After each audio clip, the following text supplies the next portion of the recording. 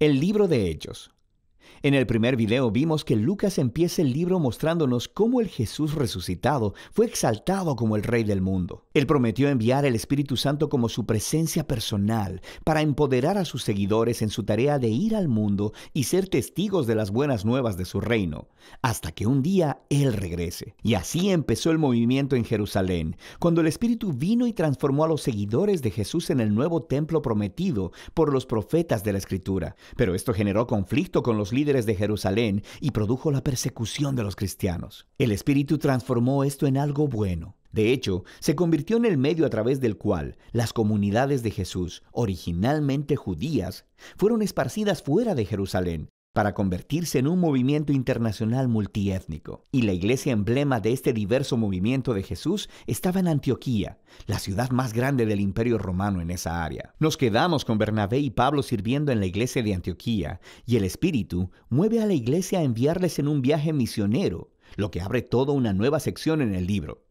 Las historias de Pablo y sus colaboradores viajando a diferentes ciudades en el Imperio Romano, anunciando las buenas nuevas de que Jesús es rey. La primera misión es al interior de lo que se conoce como Asia Menor, que se encuentra en la Turquía moderna, y termina con una reunión importante de los apóstoles de vuelta en Jerusalén. La segunda misión es a través de Asia Menor y luego hacia la antigua Grecia, la tercera misión es a través de ese mismo territorio y concluye con el viaje de Pablo de vuelta a Jerusalén. Ahora, al contar todas estas historias, Lucas ha resaltado un número de temas importantes por medio de la repetición. Primero tenemos la misión continua a Israel, cuando Pablo entra a una nueva ciudad, él siempre va primero a la sinagoga judía para compartir acerca del Rey Jesús resucitado y de cómo él está formando una nueva y multiétnica familia de Dios. La mayoría de las veces, muchas personas reconocen a Jesús como el Mesías, pero algunos se oponen a Pablo. A veces hasta lo expulsan de la ciudad como a un peligroso rebelde que se opone a la Torá y a la tradición judía. Y esta tensión culmina después del primer viaje, llevando a un concilio en Jerusalén.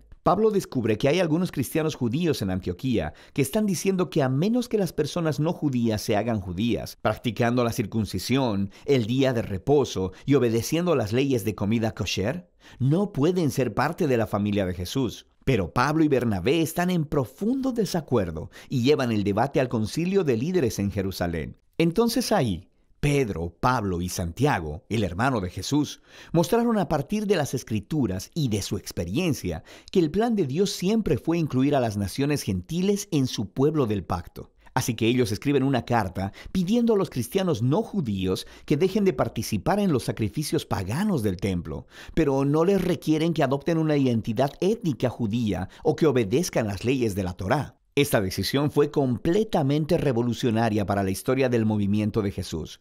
Jesús es el Mesías judío, pero también es el Rey resucitado de todas las naciones. Así que ya la membresía dentro de su pueblo no se basa en la identidad étnica o en seguir las leyes de la Torah. Simplemente se basa en confiar en Jesús y seguir sus enseñanzas. Y esta realidad multiétnica del movimiento de Jesús nos lleva al siguiente tema que Lucas quiere que veamos en estos viajes misioneros, el choque de culturas entre los primeros cristianos del mundo griego y romano. Lucas registra varios choques en Filipos, Atenas y Éfeso. Pablo va y anuncia a Jesús como la revelación del único Dios verdadero y como Rey del mundo, que muestra a todos los dioses e ídolos como impotentes y fútiles y su mensaje es consistentemente visto como subversivo del estilo de vida romano y se le acusa de ser un peligroso revolucionario social. Estas historias muestran cómo las comunidades de Jesús, multiétnicas y monoteístas, no encajaban en ninguna caja cultural conocida por el pueblo romano. El mundo antiguo nunca había visto nada como ellos, y los cristianos despertaron más que solo sospechas. Otro tema que Lucas repite es cómo Pablo y los cristianos son constantemente acusados de rebelión y hasta traición contra el César, el emperador romano. Las personas entendieron correctamente a Pablo. Él anunciaba que había otro rey, Jesús, y también vieron correctamente que la manera de vivir cristiana retaba muchos de los valores culturales romanos. Pero cada vez que Pablo es arrestado e interrogado frente a los oficiales romanos, ellos no ven ninguna amenaza y lo liberan. Estas historias nos muestran la paradoja que la iglesia primitiva presentaba al mundo. Era un movimiento mesiánico judío, pero era étnicamente diverso, lleno de comunidades que trataban como iguales a los hombres y a las mujeres, a los ricos y a los pobres, y a los esclavos y a los libres. Y todos ellos confesaban su lealtad solo al Rey Jesús y no a ningún otro dios o rey. Así que su mismísima existencia ponía de cabeza los valores centrales de la cultura romana.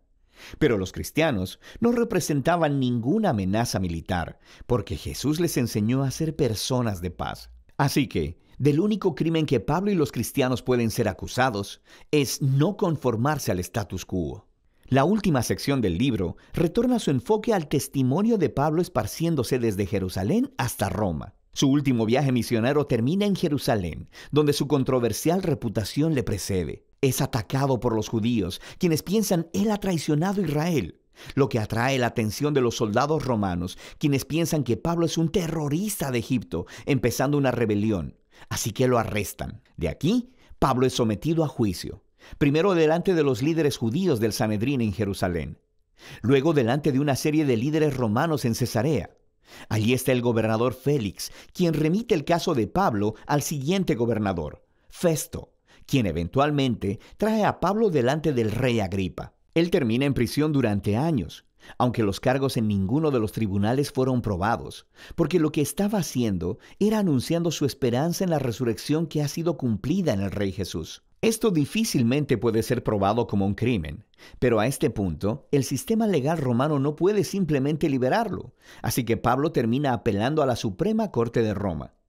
Ahora, uno podría pensar que todo este tiempo en prisión sería un contratiempo, porque su pasión es andar por los caminos iniciando nuevas comunidades de Jesús. Pero en este libro, el Espíritu orquesta todo para bien. Así que el encarcelamiento le da a Pablo tiempo para escribir sus cartas apostólicas más importantes, y éstas se convierten en la forma en que su legado misionero continuará por mucho tiempo después de su muerte. Eventualmente Pablo es transferido a una prisión en Roma, y después de un aterrador viaje a través del Mediterráneo donde casi muere, Pablo termina en arresto domiciliario en Roma, esperando su retardado juicio. De manera que en una casa bastante bonita, es capaz de ser anfitrión de reuniones regulares que alcanzan a judíos y gentiles. Y las últimas palabras del libro son acerca de cómo Pablo está anunciando el reino de Dios y enseñando con denuedo todo acerca del Señor Jesús, el Mesías, sin ningún impedimento.